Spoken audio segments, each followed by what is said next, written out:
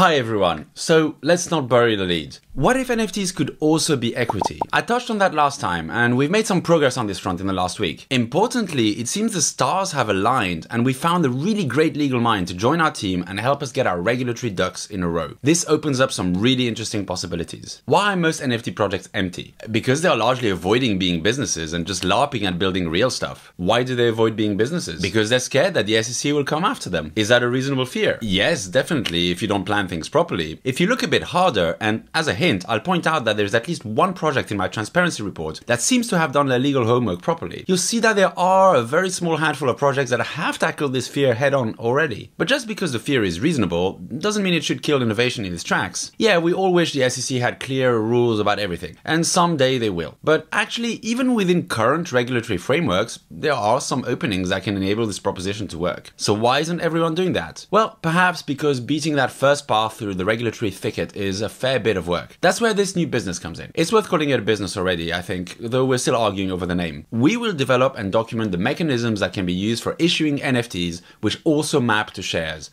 in full compliance with regulatory frameworks in place today. We have a path forward to do that right now. Impossible, you say? Well, I'm not going to argue with you. We're just going to go ahead and do it. Is it going to be easy, straightforward, just tick a few boxes in a standard form and be done? No, of course not. There will be hurdles. There will be compromises, especially initially. For example, the first version of this process is likely not to accept US investors, but a later version will. How quickly we can do all this will depend on a few things, including how much funding we end up raising once we look for funding ourselves, because these kinds of things aren't free. But we will be ticking that box too, likely within a year or two. So it's going to be a lot of work, and a lot of it is definitely going to be the kind of stuff that Paul Graham calls schlep, that boring stuff no one wants to do, which kind of explains why no one has done it yet. Is it worth doing? I sure think so. As I envision it, we're revolutionizing shares, creating shares 2.0, so to speak, or maybe shares 3 if you want to be more Web3 about it. This new funding model, regulated and curated to be largely free of the Ponzi's and scammers that proliferate today, will, in my opinion, make a huge, fundamental difference in how businesses and even non-profit organizations approach funding and distribute value. By resolving the equity side of things,